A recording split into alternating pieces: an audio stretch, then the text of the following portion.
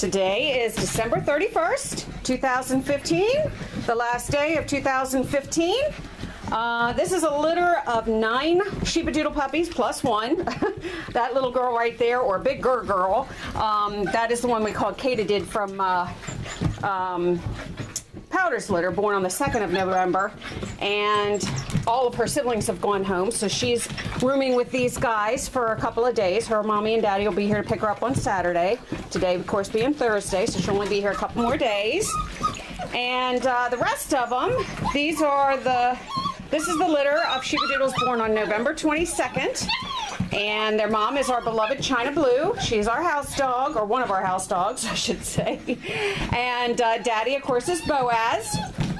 Uh, due to the chaos that was going on at the time these guys were born, holidays, which is why I'm kind of behind things. I'm sorry, everybody. I've been on the road getting uh, Powder's puppies home um, and the holidays in between. So, you know, we've all been busy. And as I say to people, the busier we are, the better it keeps us going. So, okay. Now, I did not name these puppies as I usually do. I didn't come up with a theme, didn't come up with ID names. Most are renamed anyway. But for right now, uh, as behind as I am, it's going to make things a little less complicated because I will be referring to them as uh, collars, um, collar colors. There are four girls and five boys, and we will begin selections as soon as uh, this video is published. Okay, I'm going to be putting the hammer down. We need to get moving along. Uh, I already know who the person that is that is first choice on our list based on those that are waiting for later litters. So hopefully we'll get things rolling along in the next few days, beginning today. All right, there's our red girl. This is a fat roly-poly litter. must have something to do with uh, China. She is a sweet, sweet girl. Um, I've had her since she was a puppy, brought her all the way up here from Georgia. It was a two-day trip we took almost two years ago. About a year and a half ago, I can't, it was in the summer. I know it was hot, so it was probably about a year and a half ago. Um, she was, she's almost two years old. All right, and uh, let's see. There's our yellow collar girl. All right, let's see, we'll get some face shots too. Oh, you're all wet. You just drank water, didn't you? This is our brown collar. Now, brown boy. You can see how fat and tubby they are. you guys are too funny. Hopefully I don't forget anybody. Oh, there's our big girl. That's Katie Katydid. Katie did. Yeah, the one that I had to keep had to be the one that I always have trouble pronouncing. There's our pink girl. Um, her coat is a little bit wavier, it looks like, than some of her siblings. Uh, this has been a litter that's been a challenge to keep clean. They all got baths day before yesterday, and that was the reason I didn't update them that day because they were soaking wet. Um, but uh, a lot of it has to do with mom.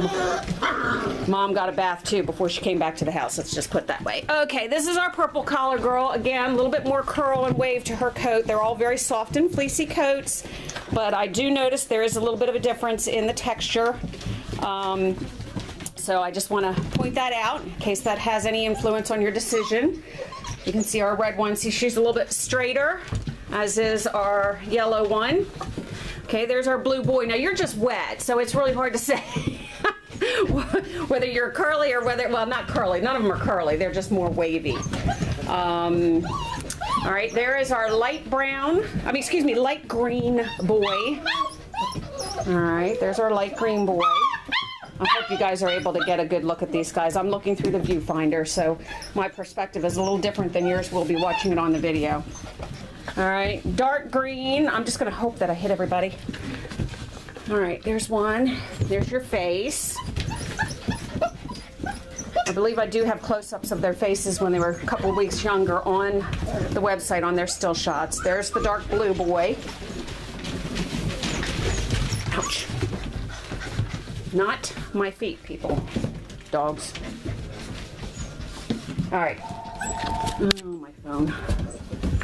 There is Gray Boy right there.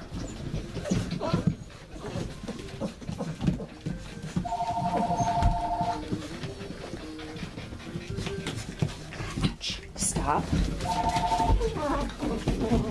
Let go of my pants, honey. That's Pink Girl, and she's got a real tight hold on my pants here. All right, she let go.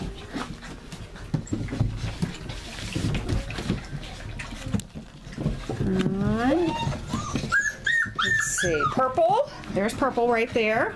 She's one of our girls. They're marked very, very similar. Okay, there's our brown. There's our gray. There's our dark green eating my foot. I need to get my clogs clean so I can protect my toes. There's dark blue. There's purple. Okay, there is gray. There's light green. Oh, and with regard to the weights, um, they're all very close in size. Uh, I think our dark green is our smallest. I didn't weigh him, but I did weigh gray, and gray was seven pounds. So we may have some that are slightly under, and maybe a couple that are a little bit over, like maybe brown. like I said, these are fat, pudgy puppies.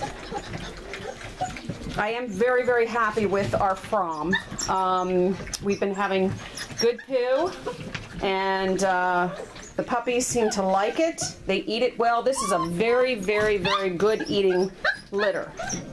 Every time I put their food down, when I first started feeding them solid food, they just clean it right up. We also have decided that as long as they're looking as though they're getting enough nutrition from mom in their first uh, first weeks, Instead of trying to start them on food at three weeks, we're holding off to about four weeks. I think that that has actually improved their digestive system. I'm not sure that puppies are really ready. It's always a trial error, trial and error, but I don't think that puppies are quite ready to eat at three weeks. Now, if mom was not providing for them enough, obviously we would supplement. Um, but in this case, mom, they've been fat and tubby since they were born. so I really do think that uh, my last two litters have done very, very well digestive wise, poop quality wise, whatever you want to call it. Um, and I do think it has made a difference. It's something that I ran across uh, on the internet and I decided to give it a try. So, with our warming protocol, uh, the good food, which is Fromm large breed puppy, Fromm Gold, F R O M M and uh, other practices. Of course, we clean and scrub and bleach every single day in their boxes. Oh, I know. You guys got toys over there to tug on. You don't have to tug on me.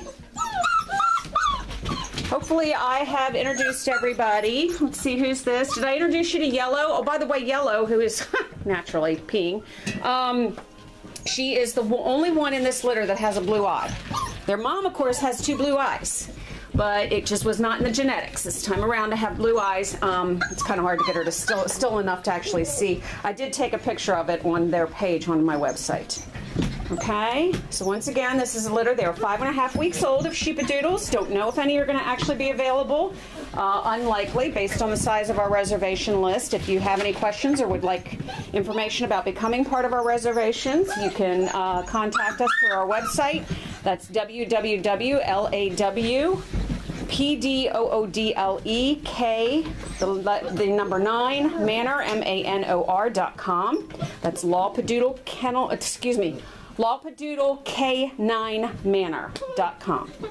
All right, and our email is there. You can try and get a hold of us, um, and we'll give you more information. You can visit our website. We've put as much information as we can pictures of our farm, pictures of our parents. Uh, most of everything that I can think of. The only thing I haven't had time to update are our wonderful testimonies um, that people email us. I've got a page started. I just haven't had uh, enough time to sit down and start incorporating those into my website, but hopefully that will hap happen sooner than later. Okay, so thank you very much for viewing our puppies. And uh, once again, Happy New Year and God bless.